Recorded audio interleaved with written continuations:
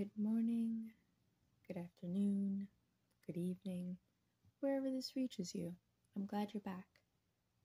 My name is Shakiah, and I help people reconnect with themselves in order to better build and maintain healthy and viable community. And today I practiced reconnection by knowing that I hadn't practiced my languages like consistently in a bit languages is something that I very much enjoy. And so I took the time today to do some of that. That's how I reconnected. Today's hopes are shared by an anonymous hopeful. Hello, and how are you? Hope you're doing well, and I hope this finds you well. I have my water with me here.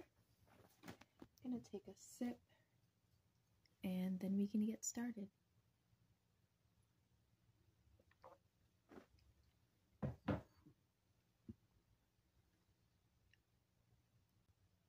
Anonymous Hopeful, what would you say hope feels like? A feeling of confidence that something is going to work out in your favor.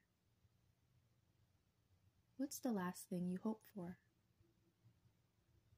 My business to succeed, making the money I need to quit my full time job. Do you remember a time losing hope? Not exactly losing all of it, but I've had some dark days. Is there a person you've lost connection with that you're hesitant in reaching back out to? Yes.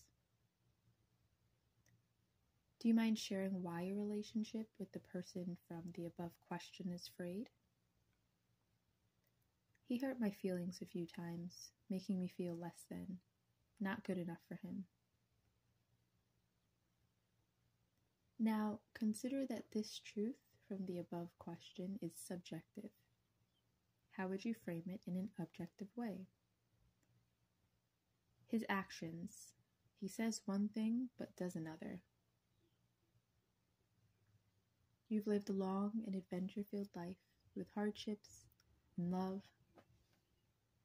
And finally, it's time for you to be reincarnated. What do you come back as? Now, I usually give three options, but of course, you are free to choose an option that more speaks to you. A tree with interconnected roots that helps provide a home for all.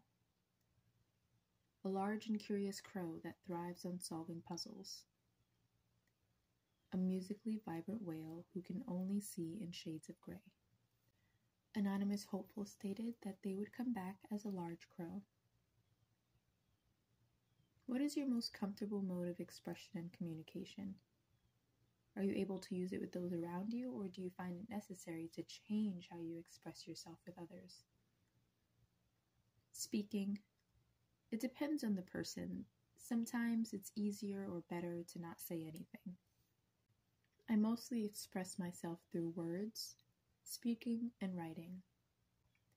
If you've made it to the end of this interview, it's pretty cool. Still kicking.